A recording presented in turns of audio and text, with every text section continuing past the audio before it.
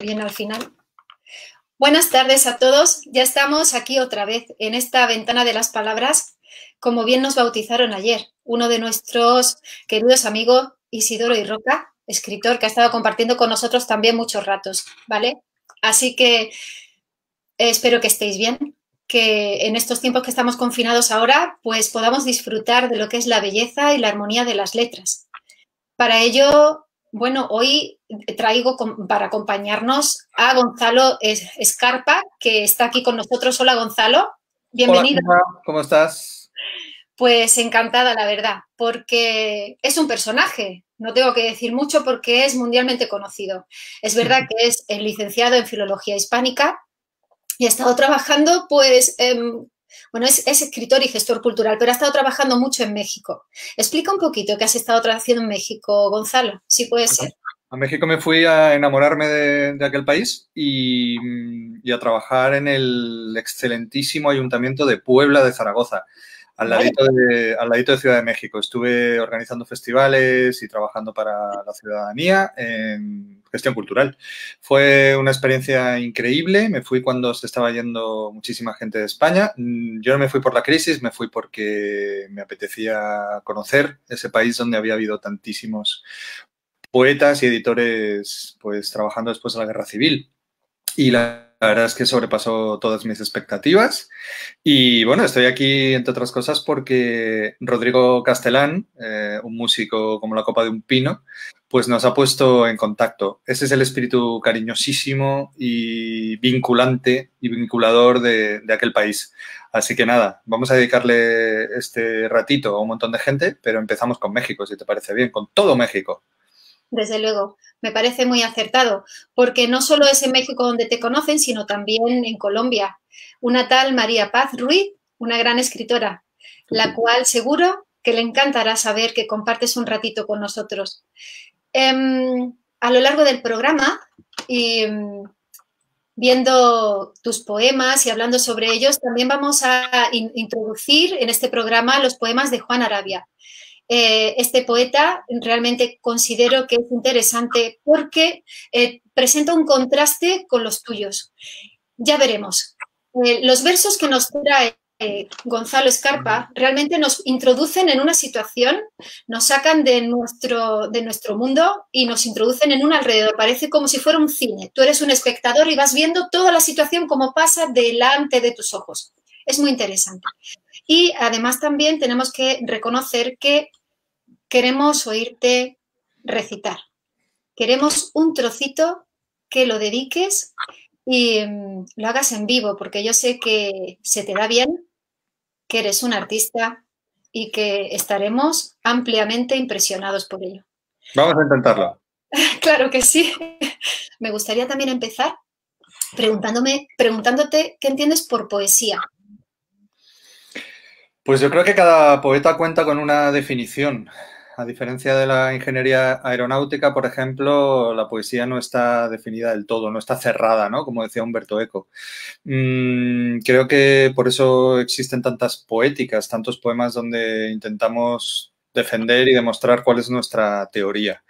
Ahora mismo yo estoy muy influido por autores como Roberto Juarroz, que cree que la poesía guarda una relación muy especial con la realidad y bueno, lo que intentamos es trastocarla de alguna manera, ¿no? Eh, penetrar en una realidad otra y darle forma de lenguaje, digamos. Eh, hay millones de definiciones preciosas, como te digo, ahora mismo, ayer, por ejemplo, en clase, eh, tengo la suerte de compartir muchos días con participantes de, los talleres que organizo en la Piscifactoría y, y ayer pues hablábamos en torno a la definición de, que da mm, los teóricos de los mundos posibles, que creen que la poesía es un canto interior condensado. Por eso, por eso nos une y nos reúne a todos en torno al fuego del lenguaje.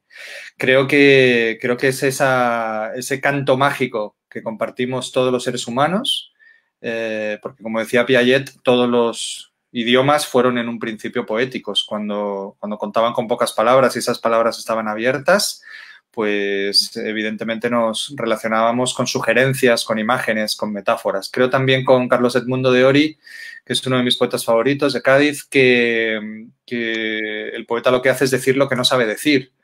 Entonces, eh, a eso me dedico básicamente, a intentar, a intentar decir lo que no se puede, lo que no se puede decir.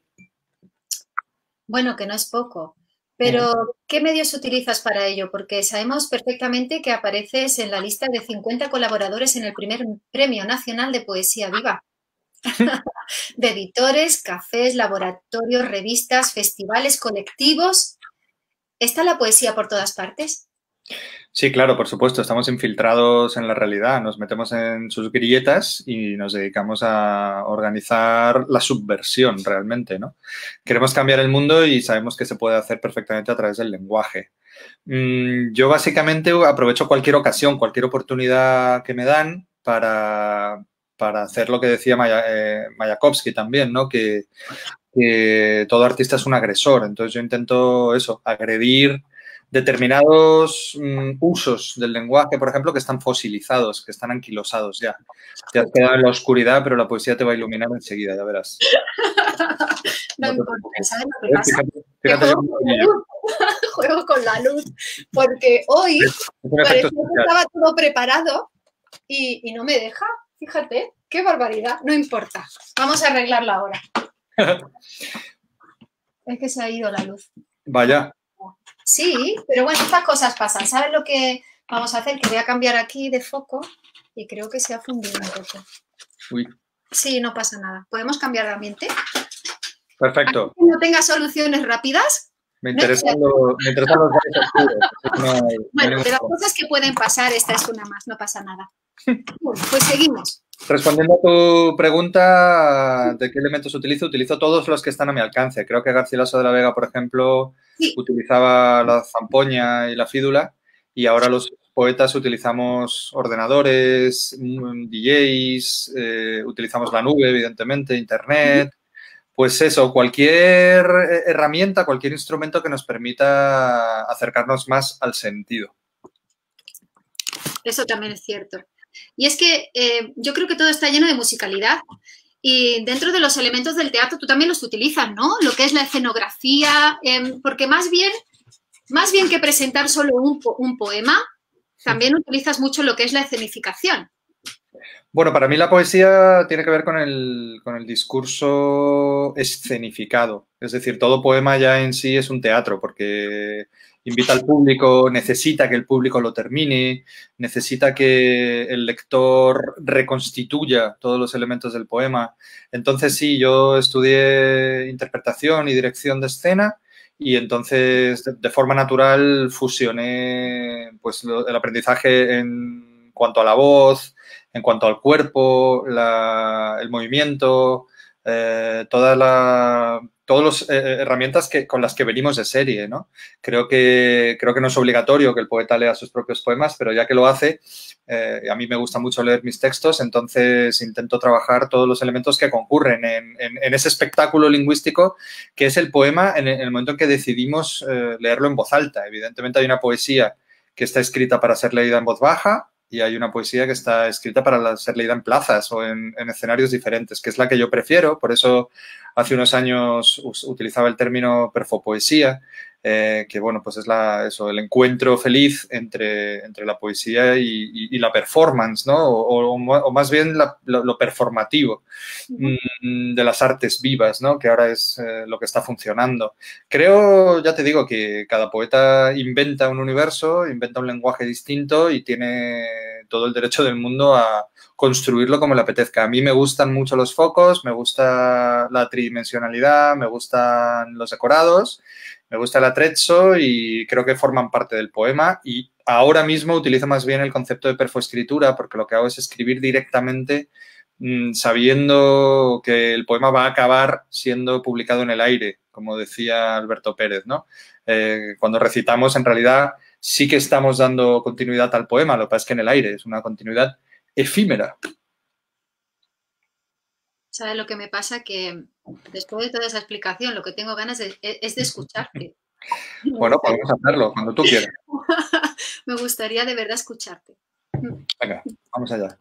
Pues vamos a empezar con un poema que se llama Neoepístola Moral. Está basado en la epístola moral a Fabio.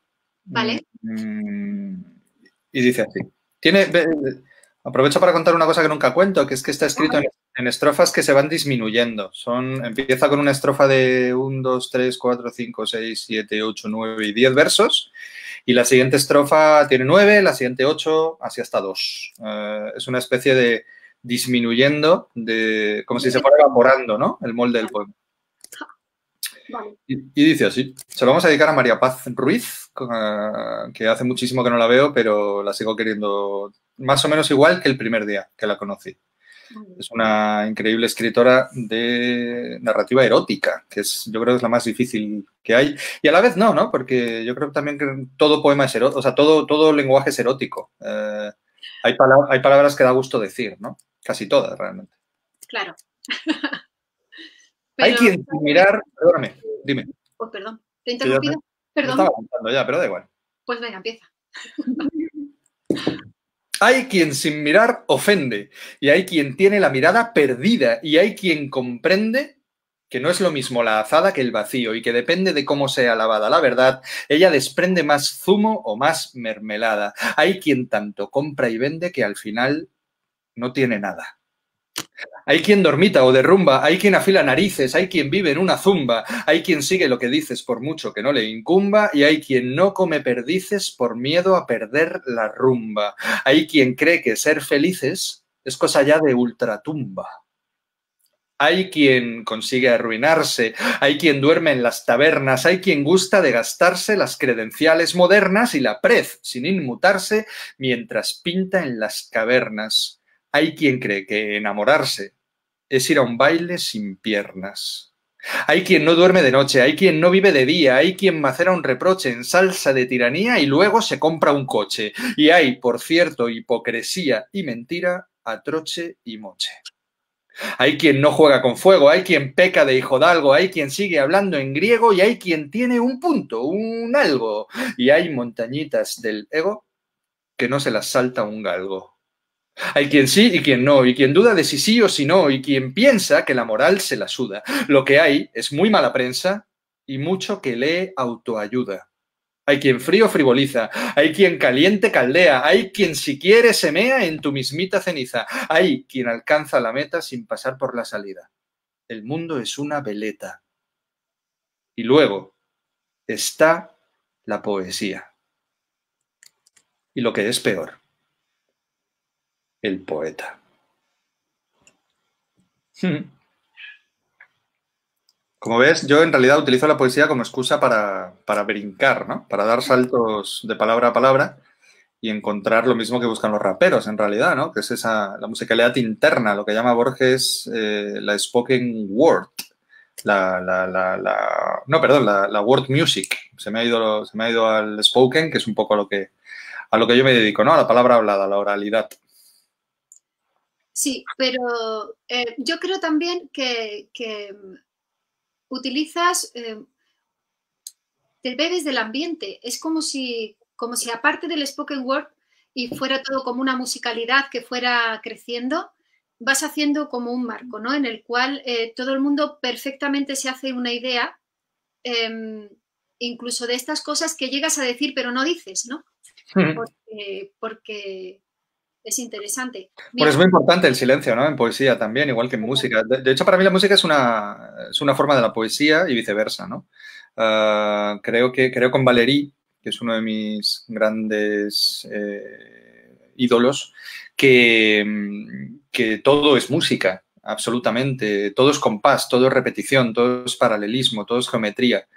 Todo tiene un molde, todo tiene una estructura y la poesía pues se, disfruta absolutamente de esos, de esos moldes que están en la naturaleza, que están en nuestra comunicación y que por supuestísimo están en el lenguaje, claro, solo hay que encontrarlos, ¿no? Por eso yo creo que la, la, poesía tiene que ver con la taumaturgia, con el encuentro de prodigios, con ese juego de palabras, ese calambur maravilloso, eh, tiene mucho que ver con el chiste también, en realidad, con, con la sorpresa de no me lo esperaba o con decir una cosa y a la vez decir otra, ¿no?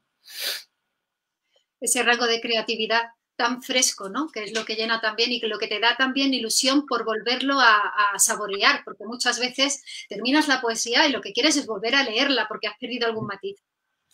Bueno, no hay nada más divertido que, escribir, que leer. Ayer fue el día del libro, así que no sé dónde leí, en un artículo al principio de, toda, de todo este movidón que estamos viviendo, eh, leí que los que leemos y escribimos llegamos con ventaja ¿no? a esta situación, porque la verdad, la verdad, la verdad, yo, yo llevo mucho tiempo confinado. Como gestor me dedico a organizar eventos y eso es mi ocio, digamos, ¿no? Cuando, cuando salgo de noches porque he tenido, pues, he organizado una obra de teatro, he organizado un encuentro de, de poetas.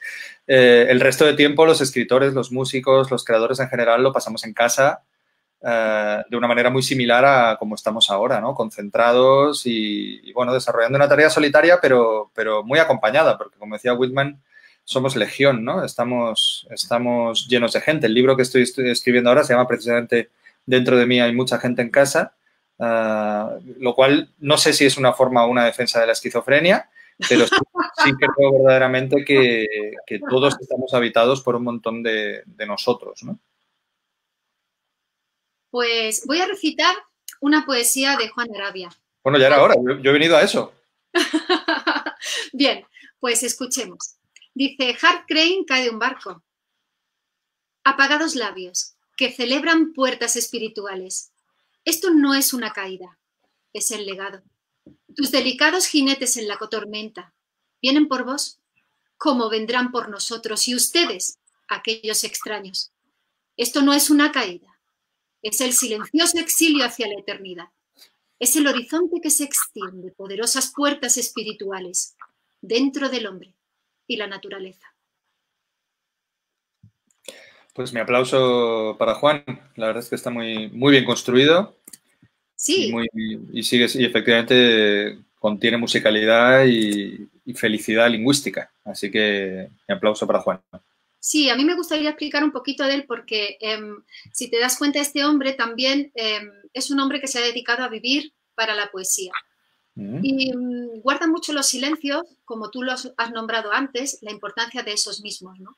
Eh, es un hombre que, bueno, que se resguarda detrás de unos anteojos oscuros y circulares y esconde esa mirada, ¿no? que, en el que no pasa ni un día sin crear poesía y más versos y versos.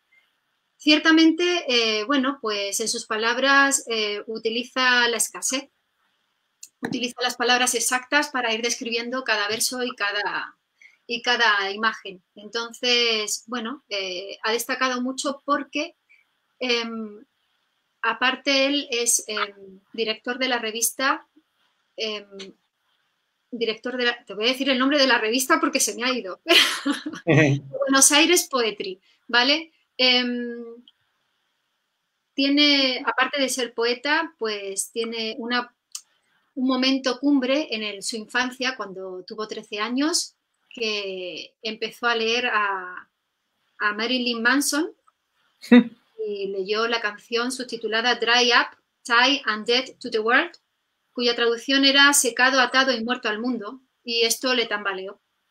Le hizo tambalear su mundo tan seguro. Bueno, pues podremos decir también que,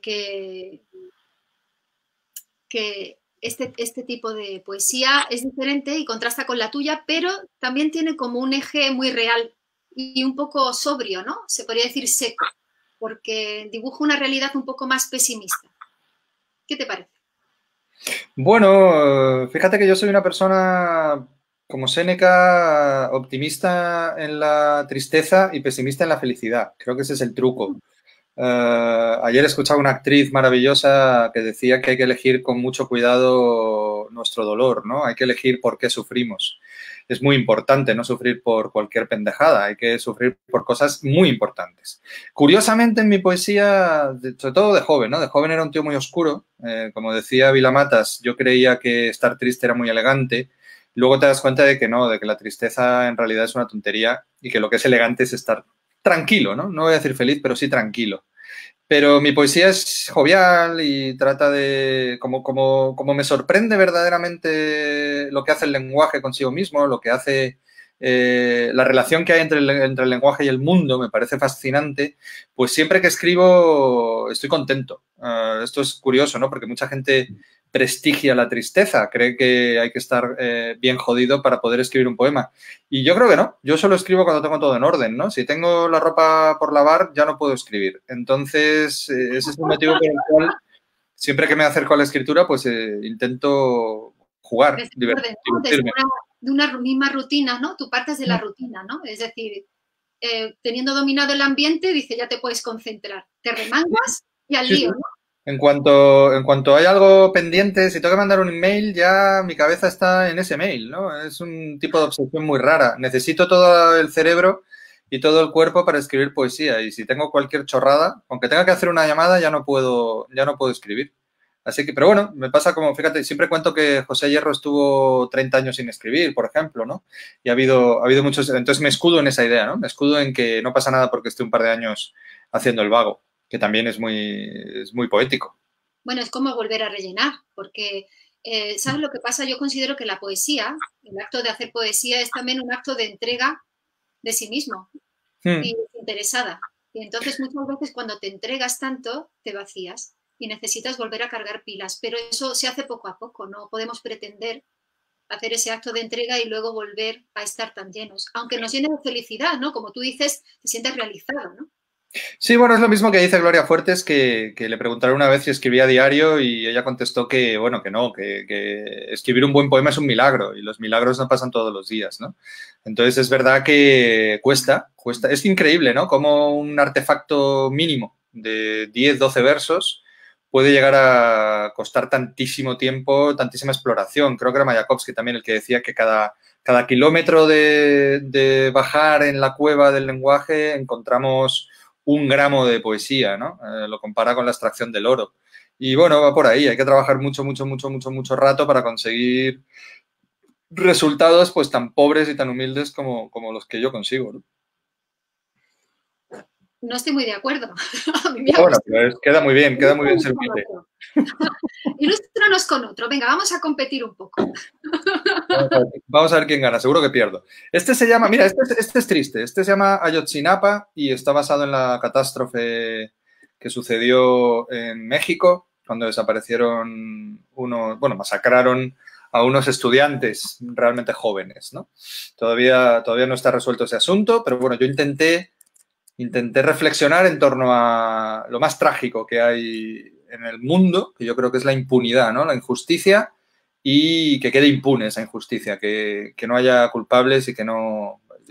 desde pequeño estoy obsesionado con esa idea de, la justicia, que creo que es un concepto realmente imposible porque no, no, se puede ser justo con todos, pero sí que hay casos de injusticias flagrantes que deben ser cantados, ¿no?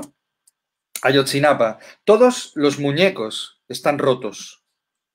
La gente anda por ahí demasiado jodida, demasiado cerebro en el alcohol, demasiado trabajo en el tiempo, demasiado poco corazón en el amor.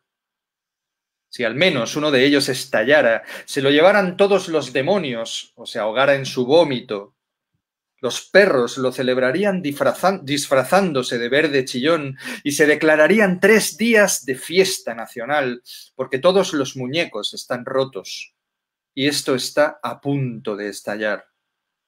Si al menos el último atardecer del mundo fuera en blanco y negro, los peces escupieran bajo el agua o llegara a algún sitio la carretera de la salvación, pero todos los muñecos están rotos y cualquier trompeta que intentes hacer sonar se va a reír de ti, porque tienes la nariz muy grande o porque llevas las rodillas llenas de barro, tu madre le está poniendo coderas a tu mejor chaqueta y todos los muñecos están rotos si al menos a alguien le quedara bien una corbata o nuestros dedos fueran de maíz, pero, pero la puerta de entrada está rota y todos los muñecos bailan mal, demasiado martini en el martini, demasiados grupos de rock iguales, demasiada basura en el portal, si al menos de noche no llorara el guardaespaldas o la luna no fuera tan estúpida. Pero todos los muñecos están rotos y es hora de ir poniéndose de acuerdo para encontrar alguna solución. ¿Ves? Si es que soy, soy asquerosamente optimista. O sea, todo está roto, pero, pero seguro que se va a poder arreglar. Bueno, de hecho, de ti dicen, y déjame que parafrasee, ¿vale? De ti dicen que, parafraseando aquella película del Club de los Cinco, encontramos a primera vista un maestro de ceremonias, un cerebro de lo poético, un atleta de las palabras, un juglar de lo efímero. Qué bonito, joder. y tal vez un tipo como aquel personaje de ficción que animaba a sus alumnos a seguir libremente como Robert Frost, el camino menos transitado. Qué chulada, pues ya me dirás quién lo dice, porque no, nunca lo había oído. Yo lo Pero... Así lo que han escrito de ti. Bueno, lo has hecho tú, ¿no? Bueno, fíjate que yo en realidad soy súper tímido, eh, como casi todos los actores, y, nunca jamás leo nada que, escriban sobre mí, entonces es lógico que no lo haya encontrado nunca. Eh, a veces lo intento, me asomo, pero me, da muchísima vergüenza. O verme en vídeos, por ejemplo. O sea, esta entrevista jamás en la vida la podré ver porque me da, me da muchísima vergüenza. Nadie se lo cree, ¿eh? porque, pero claro, lo bueno de estudiar interpretación es que te inventas un personajillo eh, que de ti, claro, claro. yo, ahora mismo, yo ahora no soy yo, yo ahora soy uno, uno que ha venido, yo estoy ocupadísimo ahora mismo haciendo mis cosas, pero, pero ha venido otro. Bueno, pues yo lo único que te puedo decir es que tengo réplica. yo lo único que te puedo decir es que tengo réplica. ¿Tú quieres? Yo quiero. Vale, pues vamos a ello. Pues se llama... Uy. La que te he leído antes era, se llamaba Juicio. Ahora te voy a leer otra que dice así. Ah, justo, es la que tengo preparada. Muy bien. Dice, nos alejamos de la ciudad. Infortunio, infortunio, etcétera. En la que ya no hacemos más canciones. Nuestra flauta quedó encerrada en la raíz de un sauce destruyendo el suelo, levantando calles y baldosas. Nos vamos lejos, amigos, donde las vacas beben, donde la savia fluye. Nuestros versos necesitan ser juzgados, pero en tierras más salvajes. Pues me gusta este hombre, la verdad. Eh, A mí también. me, quedo, me quedo con lo de infortunio, etcétera. Me ha parecido un titulazo, la verdad. Eh, claro, es el tipo de análisis que realiza. Ya he comentado que él utiliza las palabras justas. Muchas veces eh, se evade de utilizar verbos. Entonces, eh, crea una concreción muy propia de los haikus. Si te das cuenta, los haikus son versos de, tres, de tres versos, son estrofas de tres versos, pero muchas veces no usan estos verbos. Pues él utiliza lo mismo, pero con, una, con más versos. A mí me gusta. Pues ya somos dos. Se lo diremos. Por favor. llegar el vídeo? tendrá que verme, tendrá que verme, por supuesto. Yo creo que os pondré en contacto. Si quiere, escucharse, me va a tener que ver. Bueno, eso está bien. Bien, pues, em, ¿tu turno? ¿Que toca ya? Oh. Sí. Oh, ¿Quieres oh, otro? Yo te leo otro de él. Venga, cambiamos el orden. Me gusta cambiar. El poeta que enterró sus mentiras. Venga.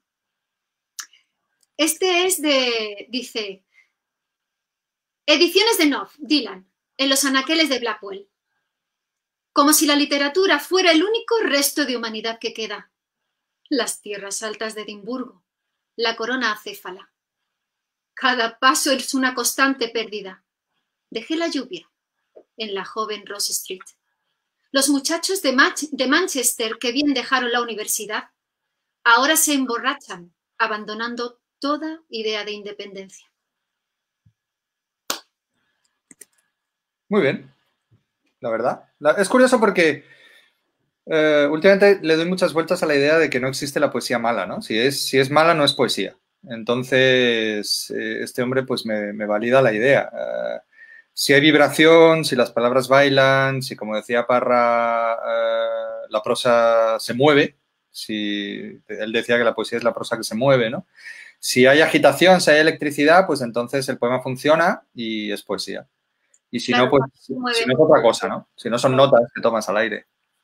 Em, hombre, tú sabes que hay una línea muy, muy finita entre lo que es el verso y lo que es la prosa poética, porque realmente lo único que, se elimina de ahí muy bien son, la, son los versos, la estructura y un poquito, ¿verdad? Un, un poquito lo que es la figura literaria. Sí, no creo que sea tan fina, tan, tan fina, pero sí que es verdad que la poesía es más bien un adjetivo, más que un sustantivo. Es decir, que encontramos elementos poéticos en el cine, en la pintura, en la música, en el teatro, en todas partes, ¿no? Incluso en la comida. Eh, es muy habitual, ¿no? Decir que un plato es poético. En ese sentido, yo creo que nos referimos a que, es, a inhabitual, a que no es lo que estábamos esperando, a que es una exploración, ¿no? Eh, todo poema es experimental, sin ninguna duda, porque estás jugando en un espacio no conocido. Entonces, ahí voy. Yo creo que, por supuesto, que la, poesía se cuela, ¿no? Coloniza diferentes eh, elementos y soportes. Entonces, por supuesto que hay novelas poéticas, cuentos poéticos. Pero bueno, hay que, hay que, hay que estar muy alerta para, para saber verdaderamente cuánta, cuánta cantidad de poesía queremos en nuestros, en nuestras obras, ¿no? Eh, yo juego mucho con eso, con la inyección de lirismo que le pongo a los poemas. O sea, hay poemas delgados y poco líricos y hay poemas inflamadísimos de lirismo que, también es divertido jugar con eso, ¿no? A mí me gustan mucho los extremos en ese sentido. A mí me gusta también mucho lo que dicen de ti, de tu creatividad y decirlo en vivo. ¿Cómo haces tú la invención de canciones en ese estilo cuando participas en la calle? Bueno, yo creo que la canción y la... Sí, la canción y la... O sea, el, poema y la canción son primos hermanos, pero, pero tampoco son tan parecidos. Yo soy un, pésimo guitarrista, un horroroso músico y un poeta, mediocre. Entonces... eso. cuando todo... Bueno, pero eh, cada uno pues con sus cosas, ¿no? Pero... Eh, cuando junto todo eso, pues lo que consigo es un desastre, pero intento Claro, acompañar el lenguaje musical de, música pura, de música per se, pues tiene la ventaja increíble de que, crea un colchón que hace que todo se subraye, ¿no? Eh, una canción, evidentemente, incide en todos los elementos rítmicos, en todos los elementos de repetición, de ritmo que tiene, que tiene el poema. Y es como se supone que es más fácil, ¿no? Se supone que es más sencillo cantar un poema. Yo creo que no. Yo llevo toda la vida intentando escribir un bolero o una copla o un, texto inolvidable, ¿no? Un tango. Los grandes, las grandes canciones son obra de verdaderos genios del lenguaje que, además entendían perfectamente cómo funcionaba la música. Yo no estoy ni muchísimo menos ahí, pero sí que me gusta, bueno, me gusta hacer el tonto con diferentes instrumentos y intentar que bailen con el lenguaje, ¿no? Eso es lo que humildemente he, llegado a hacer alguna vez. Eh, generalmente cuando, cuando necesito trabajar en ese sentido, engaño a algún músico. Siempre es mucho más es mucho mejor engañar a músicos y que toquen ellos. Bueno, también es otra estrategia muy válida. Pero fíjate, fíjate, fíjate si seré, Fíjate cómo, fíjate cómo la, amplitud de mis, de mis, gustos me llevó de pequeño a ser súper fan de Un pingüino en mi, ascensor, un grupo, un grupo mítico de los años 80, hoy un poco olvidado, y, me acuerdo mucho de que en un disco decía José Luis Moro, creo que se llamaba el cantante, que a mí me flipaba, ponía teclado, José Luis Moro, y luego ponía teclado en las partes difíciles, y salía otro tío, ¿no? Otro músico. Yo creo que yo soy, un poco igual, o sea, si, si es fácil, puedo tocarlo yo pero si es difícil tengo que, tengo que llamar a, los mayores. ¿Y podríamos ponerte algún ejercicio? Tú nos puedes ilustrar, por ejemplo, eh, ¿cómo sueles hacer ese ejercicio de creatividad? ¿Te van diciendo algún tema o alguna palabra y tú vas enlazando a partir de ahí o cómo va? Bueno, improvisar, improvisar pues es muy complejo porque, porque efectivamente hay que ponerse de acuerdo en, en, una serie de pautas, ¿no? En si va a haber rima o no va a haber rima, si va a haber pero bueno, sí que es, divertido porque tiene que ver con, saltar al vacío y generalmente te estampas. O sea, lo normal, lo normal cuando te tiras a la piscina es que salga mal. Pero, bueno, a veces, a veces funciona. Mm, lo más sencillo, evidentemente, es que, me des un, un, tema o una palabra. Vale. ¿Y si yo te digo, por ejemplo, camino?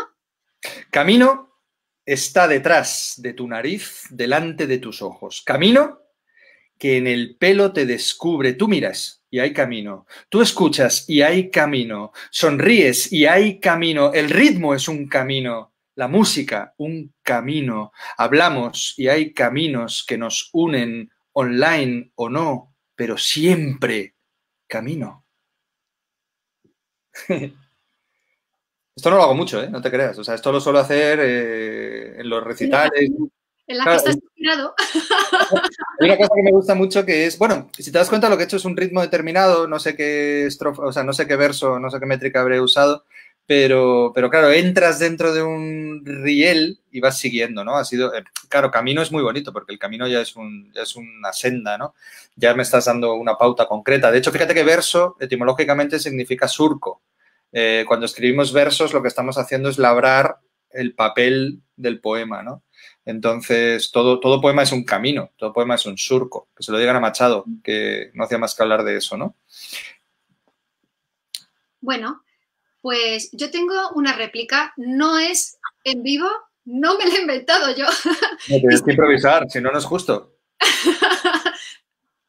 Pero es que no podría hacerlo. Venga, inténtalo, inténtalo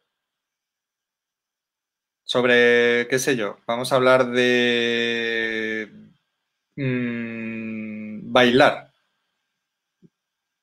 Bailar es el movimiento que circunda el aire. Bailar cuando tú rozas mi cuerpo. Bailar. Podemos juntos eh, escribir el firmamento. Oye, creo, que tiene, rima, ¿ves? No es tan difícil, solo hay que, hay que perder el miedo a bailar y a lanzarse un poco. me has puesto colorada, que lo sepas, me has pillado tú. le da la vuelta, le da la vuelta a la tortilla de la entrevista, eso es verdad. Yo tenía una, queridísima amiga que decía que bailar es intentarlo. Y yo creo que es verdad. Si lo intentas, bailas. Me gusta. Muy bien bailado. Dime. ¿Qué amiga era? Pues eh, mi amiga Claudia, que era bailarina, claro. Yo bailo fatal, por cierto, bailo horroroso. ¿Tienes izquierdos? Sí, sí, total. Yo escribo poesía en defensa propia. O sea, es como lo, es, todo lo hago mal, es que todo lo hago mal. Entonces, en el lenguaje, pues sí, sí. no digas eso. Sí, sí, se me, da, se me da muy bien hacer cosas mal. Bueno, pues también es cierto. Para que vamos a nosotros a, decir, mira, tengo, em, vamos a recitar uno más, ¿te parece? Y em, podríamos terminar después de, eso. A mí me gusta terminar normalmente recitando un poema mío. Genial. ¿Vale? Hacemos un turno más, uno de Juan y otro tuyo, y terminamos con algo que sea muy personal. Perfecto. Vale, tengo aquí un colibrí en la bauina, bauinia, ¿vale? Venga. Y dice así, este es un poco más larguito. En la rama más baja de la bauinia descansa el negro azul color marino el colibrín adaptable púrpura como el placer del límite sediento, con la destructora raíz del sauce. Néctar, licor, hachís como el origen del fuego. En América las flores alimentan legiones. Brota el alga del renacuajo, el grito acude a las banderas. Ermitaño es el sol como el maíz, y el lugar donde el ave del silencio canta, inadaptable antes que el hierro el carbón y el vapor de los corsarios, en la rama más baja de la Bauinia. La esclavitud occidental, las ratas. Acá mueren enfermos los sonidos de cacería. Brota el húmedo aire de la brisa en los círculos de la rebelión. En la rama más baja de la Bauinia descansa el negro azul color marino, el colibrín adaptable, púrpura, como el placer del límite sediento, como la destructora raíz del sauce. Siguen mis aplausos para Juan. No me, sí, Sí, hay veces que tiene una estructura muy bonita y además la repetición de la estrofa, ¿verdad? Parece como si fuera casi como melodía, como canción. Me ha gustado. Muy interesante, sin ninguna duda. ¿Toca, no? Sí. Pues mira, este no lo he leído nunca, porque lo escribí así como por... Creo que tenía una amiga que estaba pasándolo mal, eh, porque se le había terminado algo bello, no sé qué, no recuerdo qué era tampoco, pero bueno, tenía una cosa bonita y la había dejado de tener. Yo le dije, poco dura el milagro. Su relámpago escasea. De pronto, desde la altura caen los andamios mismísimos que alguna vez sirvieron para ascender Es tiempo de mudanza, de nuevo, de nuevo tiempo, pesan los pasos que se dieron desde el vértigo pocos. Balbucea la breve disidencia, la piedra que no habíamos visto precipita su pozo de calor. Anida allí en el hueco donde estuvo el peligro. Y la semilla, una nueva semilla, un nuevo riesgo, el rasgo que será la cicatriz y que recordará perenne. Poco dura el milagro, su relámpago escasea. Desde la altura caen, de pronto, las inútiles palabras. Pues eso, que cuando se acaba una cosa buena ha dejado semillas, no pasa nada, no os preocupéis. Que todo vuelve a crecer, todo, lo hermoso. Y además mejor, ¿eh? Crece mejor. ¿Sabes? Eh, me gustaría terminar esto con un poema mío. Em, bueno, que es un poco más optimista. Vamos allá. Brilla el sol a través de mi ventana.